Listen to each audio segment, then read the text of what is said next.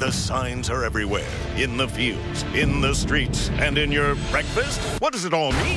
Nicktoons is now the home of brand new Fairly OddParents every Wednesday, and we're prepping you for the invasion with the Fairly Odd Takeover. I hear that. It's three days of nonstop pop with 60 hours of fan favorite episodes. Can I get a wood wood? Plus a one load of fairly awesome extras like this. Better warn your neighbor. Tinklebird. Because the Fairly OddTakeover is starting January 14th.